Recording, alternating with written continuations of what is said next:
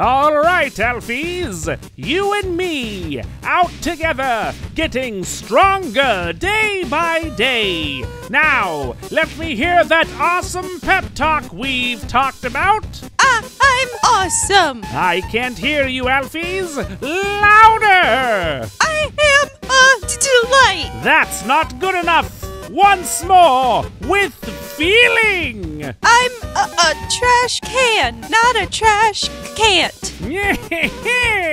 now that's what I call motivation.